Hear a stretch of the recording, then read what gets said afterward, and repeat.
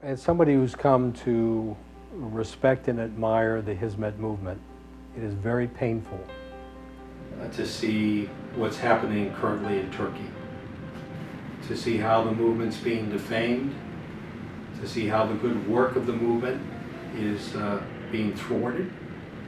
Uh, that's very hard and painful to see.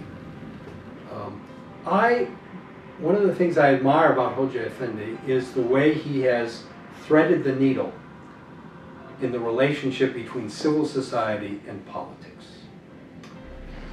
My understanding is that uh, when the current prime minister was elected, and the current prime minister said, I have a commitment to democratic society. We have a constitution currently that was written in 1980 during a military coup. That we need a new constitution. We need to recognize the full rights of minorities such as Alawites, Armenians, and Kurds in our own country.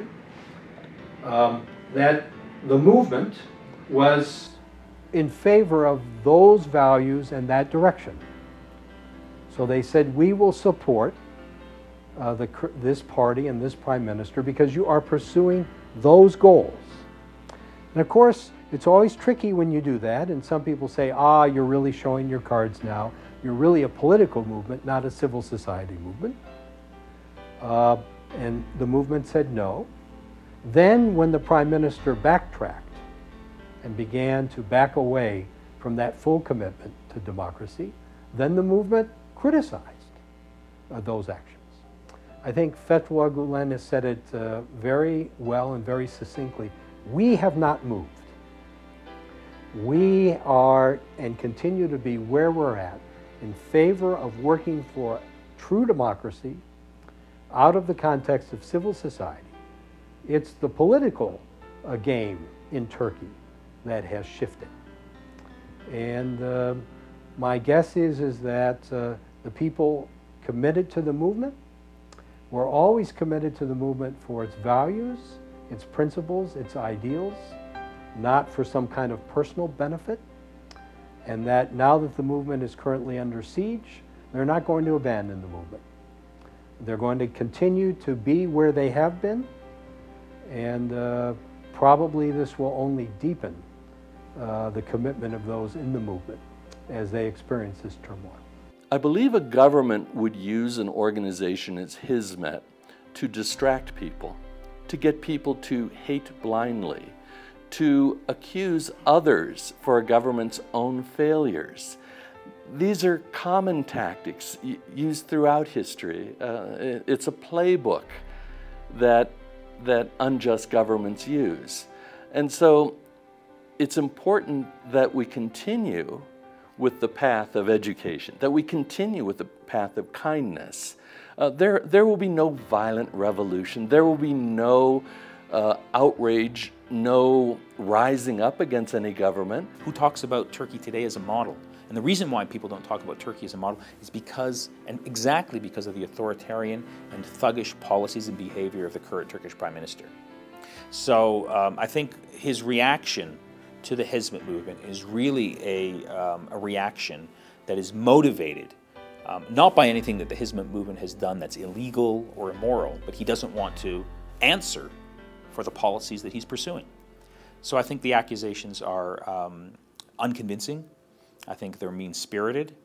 And I'm hoping that Turkish society can um, figure out a way to resolve this problem that they're currently experiencing. Because if they can, and I hope they can. I, am still very optimistic about Turkish democracy. Democracies always face um, difficult moments, crises. I think we're seeing that happening today in Turkey. And the challenge really is, is for all members of Turkish society to try and come together and try and resolve this nonviolently, peacefully. When I then heard that not only the prosecutors, but thousands of policemen and even judges we're being transferred. We're being taken out of important assignments. We're being sent to the hinterlands. We're being sent out to the provinces.